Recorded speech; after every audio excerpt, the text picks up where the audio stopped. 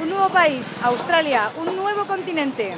Pero claro, por ahora las motos no van por el agua, así que tenemos que esperar a que nos hagan las famosas cajas. Voy a enseñar a Miquel grabándose.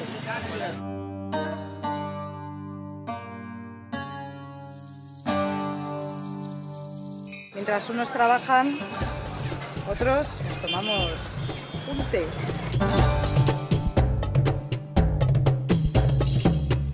Esta es la segunda vez que tengo que desmontar la moto. Solo que la primera lo hicieron otros, ahora me toca a mí. He deshinchado un poco las ruedas para que esté la moto más estable en la caja. Porque le están poniendo eh, unos tacos a los lados para que no se mueva y no me fíe un pelo.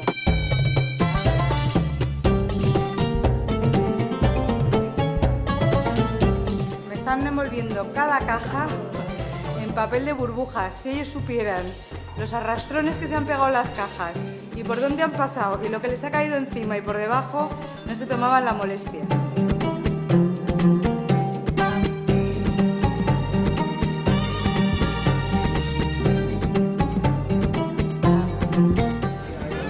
Estoy en la oficina de aduanas a ver si me sellan todo y no tengo que pasar por la policía a por un papel que dice que no he tenido accidentes aquí en Chennai.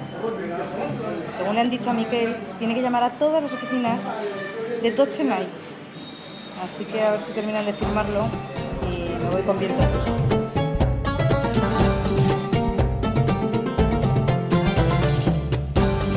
Estoy en la central de carga de Chennai y esa caja que, que, está ahí es descubierta, otra vez en caja.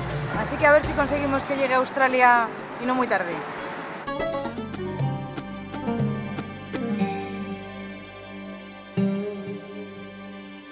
Que levanta expectación.